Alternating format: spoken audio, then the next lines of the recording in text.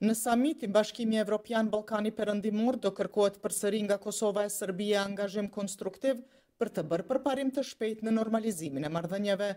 Në deklaratën përfundimtare që do e miratojnë shefët e shteteve dhe qeverive të Bashkimit Evropian, do porositet se normalizimi ndërmjet Kosovës e Serbisë është thelbësor për sigurinë dhe stabilitetin e gjithë rajonit, dhe shërben për të siguruar që palët mund të përparojnë në rrugët e tyre përkatëse evropiane.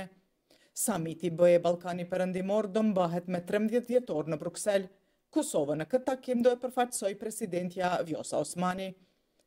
Hapësirë e madhe në deklaratën përfundimtare nga ky samit do i kushtohet dialogut mes Kosovës e Serbisë.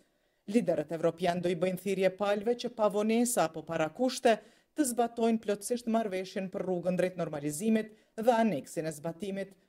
Ne gjithashtu presim që palët të ndjekin përpjekje të qëndrueshme për depërshkallëzim në përputhje me kërkesat e Bashkimit Evropian, si dhe të përmbahen nga veprimet e njëanshme dhe të pakoordinuara që mund të çojnë në tensione dhe dhunë të mëtejshme, si dhe nga retorika që nuk është e favorshme për normalizimin e marrëdhënieve, thuhet në draftin e deklaratës, të cilën e miratojnë liderët, por me të cilën pritet që të përshtaten edhe përfaqësuesit e shteteve të rajonit që do marrin pjesë në samit. Gjithashtu do tërhiqet vërejtja se në dritë të agresionit në Ukrainë, shtetet e rajonit duhet të qëndrojnë së bashku me Bashkimin Evropian, si shenjë e qartë e orientimit strategjik tani më shumë se kurrë.